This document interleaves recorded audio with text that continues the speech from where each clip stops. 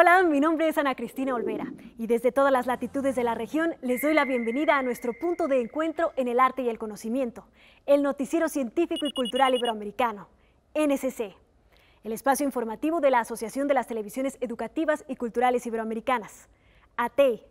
Acompáñenme en este recorrido de 30 minutos a descubrir lo que se produce, se investiga y se crea cerca de ti. La ONU reveló que el 2030 es el año límite para frenar las secuelas del cambio climático. Sin embargo, la cifra del 1.5 grados aún no se alcanza, por lo que el panorama no es muy positivo. A consecuencia, el 87% de los glaciares han retrocedido en la Antártida. Esto afecta directamente a los ecosistemas helados y por ende a la humanidad. El caso más reciente es el iceberg A76 en el mar de Weddell. Es la imagen del nuevo iceberg más grande del mundo. Cuenta con 4.320 kilómetros cuadrados, una superficie mayor a la de la isla española de Mallorca. La gran masa de hielo, bautizada con el nombre de A76 y que se encuentra flotando en el mar de Weddell, se desprendió de la plataforma Run, al noroeste de la Antártida, el iceberg, con unas medidas de 170 kilómetros de largo y 25 de ancho, fue detectado por la misión Copernicus Sentinel-1. En promedio, cada día mueren 137 mujeres en todo el mundo víctimas de violencia.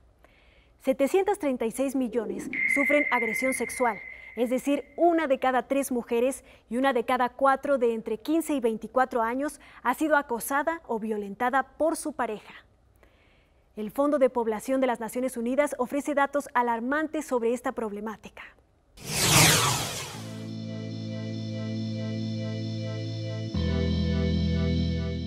El informe eh, presenta datos sólidos sobre la necesidad de continuar el trabajo para que la autonomía física de niñas, adolescentes y mujeres sea un derecho universal que deba respetarse. A su vez, revela numerosas lagunas en esta materia debido a las desigualdades y normas discriminatorias por razón de género que se ven agravadas por intersecciones como la edad, la etnia, la orientación sexual, la presencia o no de discapacidad, territorio, entre otras. También la pandemia por la COVID-19 se considera en el informe como un factor que ha empeorado las situaciones preexistentes, exponiendo a niñas y mujeres a mayor violencia y a prácticas nocivas como el matrimonio temprano, limitando el acceso a servicios de salud sexual y reproductiva y por ende al libre ejercicio de los derechos sexuales y reproductivos. Aunque han habido avances en las últimas décadas, el reporte demuestra que solo la mitad de adolescentes y mujeres pueden tomar sus propias decisiones en materia de autonomía e integridad corporal. Como dije anteriormente, solo el 55% de las mujeres del mundo pueden tomar decisiones autónomas sobre sus cuerpos y este porcentaje desciende al 10% si se observan algunos datos de países eh, de África. En América Latina y el Caribe, el 74% de las mujeres entre 15 y 49 años toman sus propias decisiones en materia de salud y de derechos sexuales y reproductivos. Esto significa que solo aproximadamente la mitad de las mujeres y las niñas tiene el poder de decidir si desea obtener atención en salud incluidos servicios de salud sexual y reproductiva, en qué momento, si desea utilizar métodos anticonceptivos y si desea o no mantener relaciones sexuales con su pareja o con su esposo. En otras palabras, la mayoría de las mujeres no son dueñas de su cuerpo y su vida está dirigida por otras personas. Este informe es un llamado de atención a los países, a los gobiernos, a las comunidades, a las personas sobre dónde nos encontramos con relación a estos temas, cuáles son las grandes deudas que existen en esta área y cómo podemos mejorar. Por lo tanto, es un llamado a la acción para que las determinantes del poder de decisión de las mujeres adolescentes, como las normas de género, el estigma, los servicios de salud, eh, donde residen, ya sea a nivel rural, urbano, la posición de la pareja, los costos, la educación, ingresos económicos, sean considerados y abordados de manera integral, interseccional y con perspectiva de género de manera urgente. El turismo representa para España el 15% de su Producto Interno Bruto. El 3.4% proviene de la industria cultural. El país no solo ocupa el tercer lugar en la lista del Patrimonio Mundial de la UNESCO con 48 bienes, también está en los primeros 10 lugares en arqueoturismo. A esta riqueza histórica se suma un mosaico hallado en la calle Benito Torresano. Entramos en la calle Benito Torresano y rápidamente la mirada se nos va a esta zanja. Están instalando el gas y debajo han hallado este mosaico de grandes dimensiones, en tan buen estado de conservación. Polícromo, con teselas de distintos colores, con representaciones de motivos geométricos, probablemente fechado a finales del siglo III o principios del siglo IV. Podría pertenecer al suelo de una habitación, probablemente continuará más allá del acerado y los trabajos se centrarán en la otra parte de la calle. Ya no nos podemos meter en, los acerados y en, las viviendas particulares, por tanto, pero bueno, la documentación será lo más exhaustiva posible, sabremos de su existencia, estará garantizada su conservación y el mosaico estará donde debe estar, que formando parte de esta vivienda romana. Ahora buscan la presencia de zanjas antiguas para pasar por esa zona los tubos del gas. Hace tan solo unos días, el actor Esteban García Ballesteros se ha trasladado a esta casa, sin saber que guardaba una sorpresa. De aquí para afuera, para otra calle, y de aquí no hemos tocado nada. Entonces, si hubiésemos tocado, hubiese parecido perfectamente el, mosaico. Tener esto debajo de tus pies, pues un regalo, un regalo de todos los dioses. La calle ha sido un improvisado museo. En cuanto he sabido la aparición del mosaico, pues me he venido para acá y seguramente habrá más. El mosaico que ahora luce en la Asamblea de Extremadura también apareció en esta misma calle.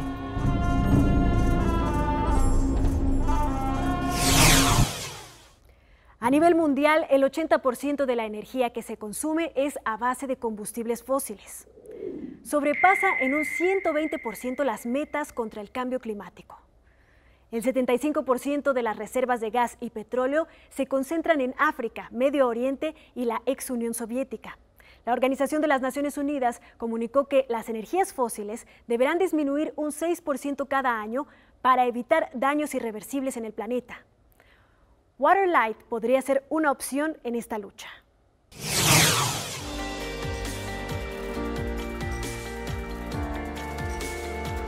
Este gran avance tecnológico lo basamos en la gran necesidad de las miles de personas, para ser exactos, 1.5 billones de seres humanos que no cuentan con energía, que siguen consumiendo eh, eh, energía fósil. Y nosotros desarrollamos un dispositivo a base de agua salada para poder generar energía y que las personas tengan acceso a energía 100% renovable y 100% cuidadosa con el medio ambiente. Desde hace seis años, la empresa colombiana de energía renovable Edina trabaja en un proyecto que busca disminuir el uso de energías fósiles. En colaboración con la agencia Wanderman Thompson Colombia, creó Waterlight. Se trata de un dispositivo que funciona como lámpara y que es capaz de proporcionar hasta 45 días de electricidad con apenas 600 mililitros de agua salada. Lo anterior es posible gracias al fenómeno químico de la ionización. El agua salada entra adentro, eh, en el interior de la madera, entra con eh, básicamente eh, dos componentes fundamentales. Es una placa de cobre una placa de magnesio. Y el agua salada, al estar en contacto con estos dos elementos, se, se, empieza a generar un proceso de ionización, que se llama ionización por medio salino. ¿sí? Entonces, eh, básicamente el cobre aporta una carga positiva, el magnesio es una carga negativa y el agua salada los conecta y al conectar esas dos cargas es lo que se produce energía. Generamos energía por un, por un circuito electrónico y elevamos la potencia para que los dispositivos celulares, GPS o radios puedan funcionar. Esto es un principio básico de la electrólisis y lo que hacemos es, como lo decía Diego, realmente es potencializar el agua salada para que genere los 4.5 voltios y genere esa potencia para poder eh, generar este tipo de energía. Las sales y los óxidos metálicos son buenos conductores de electricidad, de ahí la potencia del agua de mar para generar energía.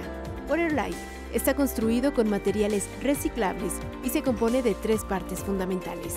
Una tapa, área por donde ingresa el líquido, el cuerpo, donde se procesa la energía, y la base, que cuenta con dos unidades de iluminación y un puerto USB, es decir, que permite utilizar la energía como lámpara y cargar objetos como celulares. El dispositivo requiere de una recarga diaria de agua y tiene una vida útil de 4.600 a 5.000 horas. Hablamos del mar como el agua salada, pero pues si no estamos cerca al mar y podemos hacer, tenemos agua y tenemos sal casera, funciona igual, perfecto, simplemente como la mezcla de esas dos cosas. Eh, y en el peor de los casos, inclusive nuestra propia, nuestra propia orina podría llegar a funcionar eh, debido a los, los, pues digamos, altos eh, concentraciones de amoníaco y pues de sal. Pues, digamos que también lo podríamos llegar a hacer. Además que este es un dispositivo que genera una desalinización del agua. Una vez opera, la sal queda completamente por fuera del agua y esto es un generador que actualmente lo podemos decir a viva voz, generamos hidrógeno. Hay que cuidar cada uno de los recursos que tenemos en la Tierra. Y como un recurso que tenemos nosotros que sobra, que es el 70% de nuestro planeta, el agua salada puede brindar unos beneficios muy importantes para las personas. Es un cambio, es un cambio de chip que tenemos que comenzar a dar como generación para pensar en las generaciones que vienen, responsabilizándolas cada vez más de lo que tienen en sus manos para poder tener un planeta mejor. Desde México reportó para el Noticiero Científico y Cultural Iberoamericano NSC Karen Rivera de Canal 22. En España, el sector vinícola cuenta con más de 4.000 empresas productoras y una importante red de distribución y venta. Anualmente deja un derrame económico de casi 24 mil millones de euros. España es el principal exportador mundial de vino en volumen y el tercero en valor. Su producto llega a 189 países del mundo. Para sostener la calidad y las cifras de producción llega Vine Scout. Este robot ayuda a los viticultores a sacarle el máximo partido a sus viñedos les permite vendimiar, abonar o regar de una manera más eficiente. Se llama Vine Scout y ha sido desarrollado por un equipo de la Universidad Politécnica de Valencia. ¿Qué es lo que está siendo disuasorio para que la gente no vaya al campo? Pues esa parte más dura que tiene el trabajo en el campo, esas jornadas eh, muy largas, esas estar sometido a altas temperaturas, a bajas. Entonces lo otro lo que queremos hacer es que esa parte dura la haga una máquina, pero que las decisiones finales, que, que lo que la proyección, que es lo que es la eh, todo lo que es la gerencia, todo lo que es la estrategia de, para llevar a cabo ese cultivo, eh, todo eso lo haga el agricultor, lo sigue haciendo. Vine Scout es totalmente autónomo y no depende de la señal GPS. Incorpora sensores ambientales, radiométricos y espectrales, de ultrasonidos y un avanzado sistema que combina visión e inteligencia artificial. El robot tiene un sistema de navegación autónomo, entonces, y tiene una serie de sensores. Unos sensores son para la navegación y luego otros sensores son sensores que detectan el entorno y con él capturamos variables agronómicas y variables climáticas, que están siempre muy relacionadas. Nosotros lo que le facilitamos es tomar muchos datos y hacerlo de una manera automática. Con todos los datos que registra y procesa el robot, genera un mapa con la información al detalle del estado de la parcela. Y la idea es monitorizar es como una máquina de observación. Tenemos satélites de observación terrestre y aquí lo que tendríamos es un vehículo de observación del cultivo. Entonces, nosotros hemos eh, personalizado este robot para que se centre en lo que es el estrés hídrico. Según vayan interesando otros, eh, otras variables o otros fenómenos agronómicos, lo que sería es ir añadiendo los sensores que, que sean necesarios. Vine Scout es fruto de siete años de trabajo. Nacido en estos laboratorios de la Universidad Politécnica de Valencia, es el primer robot de observación vitícola totalmente eléctrico, con autonomía para al menos dos jornadas y desarrollado a nivel internacional desde un punto de vista agronómico. Actualmente, Uruguay cuenta con el registro de 17.000 tangos. Esta expresión musical posee desde el 2009 el título de Patrimonio Cultural Intangible de la Humanidad, otorgado por la Organización de las Naciones Unidas para la Educación, la Ciencia y la Cultura. Como herencia de esta tradición argentina y uruguaya, nace el bandoneón. Considerado por algunos como un oso panda musical por su peligro de extinción, el bandoneón, un instrumento alemán que le debe todo al tango, despierta en Uruguay, donde un nuevo método de enseñanza le da un respiro para adaptarse a las generaciones actuales y venideras. Hacer tango sin bandoneón para mí es como hacer un puchero y no ponerle papa, resume categóricamente Ricardo Mateo, un hombre de 69 años que dedicó casi toda su vida al oficio de reparar el instrumento en el país reoplatense, que junto a Argentina es considerado cuna del género barrabalero. Yo me crié en una familia de bandoneonistas. Mi, mi padre era bandoneonista, dos hermanos de él, o sea, dos tíos míos también eran bandoneonistas, integraban en la década del 40 eh, una orquesta que era muy conocida en su momento. Sergio Astengo tocaba rock con guitarra hasta que un día comenzó a escuchar tangos de Carlos Gardel y Astor Piazzolla. Ahí, dice, no hubo vuelta atrás y el misterio de aprender bandoneón se volvió su meta. Hay que buscar y hay que darle el clavo y tener paciencia. Otra cosa que el bandoneón nos enseña paciencia. siempre escuché eso, ¿viste? Del bandoneón en, peligro de extinción o algo como directamente hablar de osos panda. Lo raro es que siguen, siguen apareciendo los bandoneones. Algo distinto le pasó a Verónica Rumbo, que estudiaba guitarra clásica y en clase de tango cuando escuchó un bandoneón de cerca quedó cautivada por el sonido y le dio curiosidad. Tiene como las virtudes juntas de muchos instrumentos. La riqueza tímbrica que también puede tener un violín o una guitarra tiene un registro muy amplio, se puede tocar muchas notas juntas. entonces es como que es como una pequeña, una pequeña orquesta en sí misma, en algún sentido. Asegurar que no se pierda el reempuje que el instrumento estrella del tango tuvo a partir del 2000 es clave para el proyecto Bandoneón El Sonido del Tango, que apoyado por la UNESCO llevará adelante este año en Uruguay la Fundación Cien Arte. La gestora del proyecto, Sofía Antonás, detalla sus tres ejes, enseñanza, relevamiento y preservación. En ese sentido, se creará una escuela de bandoneón con sedes regionales en el sur, este, oeste y norte del país. En 2019, a nivel mundial se recaudaron más de 42 mil millones de dólares de taquilla en cines y en 2020, a causa de la COVID-19, se registró una pérdida de 5 mil millones de dólares. El servicio de streaming incrementó su consumo en un 14%, facturando 58.8 millones de dólares. Estados Unidos ocupa el primer puesto en el mercado mundial, seguido por China y Corea del Sur. La cifra de suscriptores al servicio online alcanzó los 863 mil millones en todo el mundo. El séptimo arte representó durante el confinamiento un escape y un medio educativo, el cual ayuda a fortalecer los valores, ideas y pensamientos. Bajo esta premisa es que nace el proyecto El Cine y Yo. La selección de las películas, las fibras que conmovieron la vida personal de Francisco y su forma de apreciarlas fueron los ejes sobre los cuales se desarrolló el conversatorio. El ser humano no tiene empatía con los otros seres vivos. Pues hablar de cine para un cineasta es muy fácil, pero eh, lo que queríamos era mostrar que el cine forma parte de la vida de uno no importa si uno sabe de cine, no importa si uno es cineasta, no importa si uno le gusta es el cine comercial, no importa, el cine forma parte de mí, por eso se llama el cine yo. Cualidades como la imaginación y la creatividad son los criterios con los que Francisco hace un análisis sobre películas como Up, Ferdinand y Cómo entrenar a tu dragón, y desde su conocimiento hace un aporte desde una perspectiva ambientalista hecho tener un ambiente sano y el deber también de preservar ese ambiente sano, ¿no? Yo creo que le, aporta mucho la visión que desde otras disciplinas tiene un, artista o un futbolista o un escritor eh, sobre una película, complementa un poco la visión que tiene el cine mismo. El cine no solamente resume las, demás artes, sino que a cada una le da una manera diferente de, ver las películas. Y yo creo que se, retroalimenta el cine de las otras disciplinas, pero también nutre las demás disciplinas y por eso generan puntos de vista diferentes.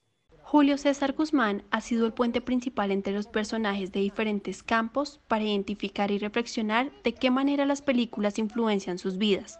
En esta oportunidad logra abordar junto con Francisco emociones como el miedo, la admiración y su relación con el ambientalismo. Estados Unidos, Argentina y Chile son los principales países de América en la producción de vinos. En Europa, los primeros lugares son de Italia, Francia y España. En 2019, la producción alcanzó los 26 mil millones de litros y en el 2020, debido a la pandemia, la cifra tuvo una pérdida del 3%.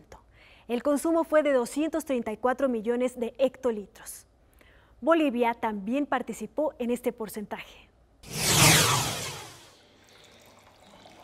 Vinos producidos a casi 2.000 metros sobre el nivel del mar. Vecino de Argentina y Chile, dos gigantes en materia de producción vitivinícola, Bolivia tiene una producción pequeña de vinos. Pero aunque no pueden competir en cantidad, los productores apuestan a la calidad de un producto con características propias. Los vinos de altura básicamente lo que más los caracteriza es la fruta y los niveles de resveratrol que se considera que es un protector del sistema cardiovascular y está comprobado por la universidad y los análisis que se han hecho que los niveles de resveratrol están más altos y obviamente frescos, son vinos frescos más fáciles de beber. La historia cuenta que el vino llegó a Bolivia a inicios del siglo XVII de la mano de curas jesuitas que tuvieron que cultivar uva para producir la bebida que era usada en las misas. Trajeron las plantas principalmente desde España. Actualmente los principales viñedos de Bolivia están en el departamento sureño de Tarija. Aquí se produce la uva en un clima templado, con un sol a menudo inclemente y noches frescas, con una humedad que los especialistas locales consideran como un aditamento particular para el vino boliviano. La viticultura en el resto del mundo termina donde nosotros empezamos. ¿En qué sentido? En que todas partes del mundo, la viticultura que se tiene, son a nivel del mar 800 metros, 1000 metros, un poco más. Pero nosotros empezamos a tener viticultura a partir de, de esa altura. La producción de vino en Bolivia se sitúa entre los 1.600 y los 2.000 metros de altitud, pero en algunas zonas andinas con clima cálido se encuentran cultivos hasta los casi 3.000 metros. Según los enólogos, esto diferencia mucho a los vinos bolivianos del resto, ya que la altura genera una concentración de aromas diferente y un color particular. Yo pienso que la gente que le gustan los vinos de altura es gente que le gustan los vinos eh, elegantes, son vinos que no tienen una cantidad de alcohol muy fuerte, sino que eh, tienen eh, aromas y sabores son suaves pero, eh, pero potentes al mismo tiempo. Los vinos bolivianos tienen como destino principal el mercado nacional, donde se pueden encontrar Cabernet Sauvignon, Malbec, Merlot, Tanat u Oporto. Su popularidad ha aumentado junto con un boom gastronómico de nuevos restaurantes de moda enfocados en los sabores locales. Pero saben que no será fácil ganar nuevos nichos de mercado no tenemos un, espacio, ¿no? O sea, no hay un gran potencial de crecimiento, pero sí en el aspecto de calidad. En ese aspecto hay demasiado por hacer todavía. Entonces, eh, yo creo que de aquí a unos años más, ojalá que Bolivia realmente sea conocido mundialmente como un país productor. Algunos vinos bolivianos ya han llegado a Estados Unidos y a algunos países de Asia y de a poco los vinicultores confían en que se hagan un lugar en el mercado mundial. Gracias por habernos acompañado en este viaje informativo del Noticiero Científico y Cultural Iberoamericano, NSC. Este espacio de encuentro no sería posible sin la colaboración y plataformas de los socios de ATEI y las agencias informativas AFP, EFE, Xinhua, Notimex, Euronews y la Deutsche Welle. Si quieres saber más, podemos estar comunicados a través de la web en noticiasnsc.com y las redes sociales. Nos encuentras como arroba NSC Iberoamérica en Twitter, Facebook, Instagram y Dailymotion. Yo soy Ana Cristina Olvera y los espero en una próxima emisión.